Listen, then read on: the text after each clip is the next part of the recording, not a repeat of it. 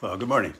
So I've been working my way through the book, doing imago relationship ther- therapy and the space between. And the first, uh, what I've looked at was the first part of the book was about meta theory, sorry, the theory behind imago relationship therapy. Now, the next section of the book is uh, is uh, called uh, imago clinical theory, which is still sort of the background.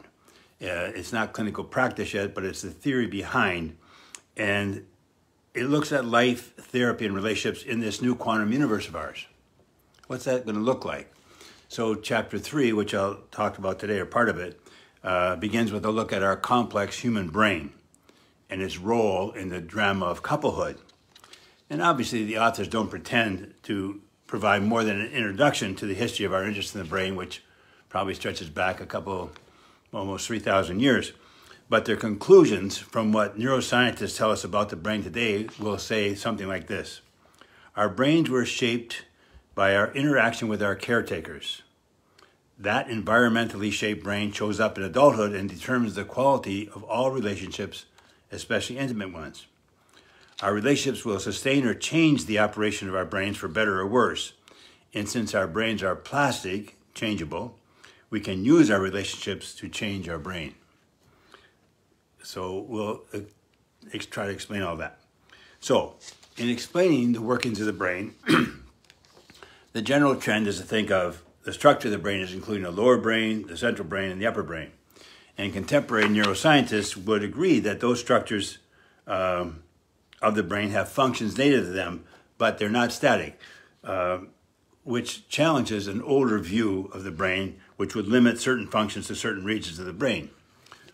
Rather, today, neuroscientists would say there's a distribution of func- functions throughout the brain, both recognizing the brain's complexity and its ability, capacity to change, neuroplasticity. You know, we, we just know the brain is much more plastic than, say, even 25, 50 years ago. Uh, we, it it uh, can create new neural pathways.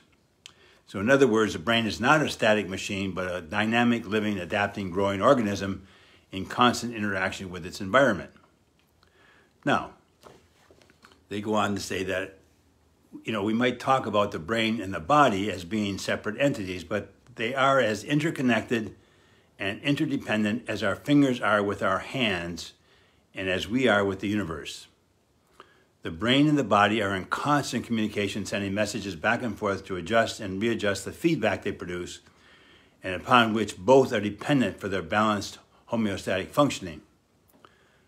Think about it for example, the body knows, even before the higher brain processes it, whether someone who's walking a little too closely behind us is dangerous or not. We have to, you know, we have that intuition or that gut feeling. But given all this, uh, different parts of the brains uh, do have functions particular to them. And I'll look at the lower and midbrain today and, and look at the upper brain next week. Now, again, realize that what we know from neuroscience is it's much more fluid, much more plastic than we originally thought. But it's always in the lower brain is always in communication with other parts of the brain, but its primary function of the lower primal brain is to ensure our physical survival.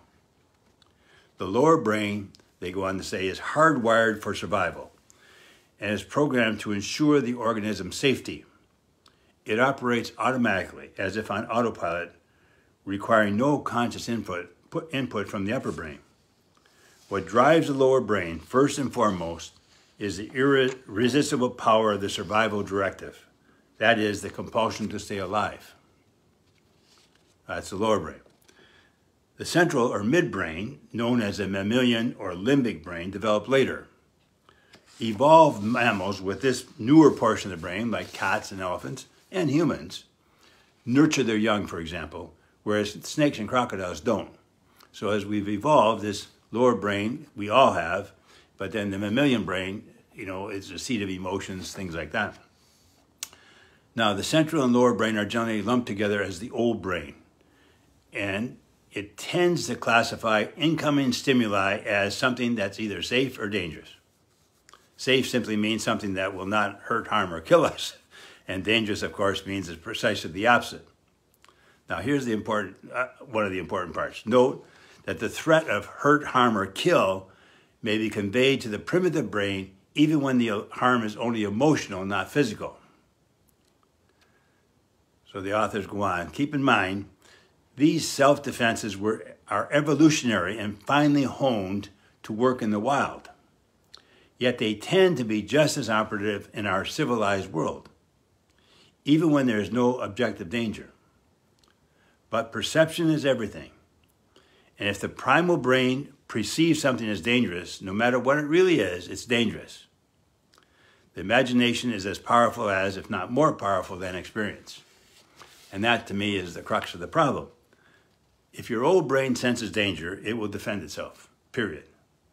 That's 500 million years. You're not going to change that. But here's a challenge for you. Think about how relationships are often depicted in our culture. TV, movies, those magazines at the checkout counter, but in real life. But think about it from your old brain point of view. If I attack you or yell at you or don't talk or shut down or make fun of you, what are you going to do except defend yourself? You see it everywhere. And all I'm, saying, all I'm saying doesn't work. All right? Why? Because it doesn't feel safe. Your old brain senses danger and it's going to go into survival mode fight, flight, or freeze. So if you want a great relationship, you're going to have to learn to your, talk to your partner in a safe way. And that's where we'll get into in chapter nine about the safe communication process. But safety is the key. So I know we're, you know, uh, this is all fairly theoretical, but it, it just, they're going to say that, look at this, this, this is what neuroscientists tell us about our brain. Uh, we have to pay attention to that. And so safety is going to be a key to any great relationship. Okay, so next week we'll look at sort of the, the more evolved brain, the uh, cerebral cortex part, and, and try to make some connections and conclusions from all that. All right, so see you next week. Thanks for watching.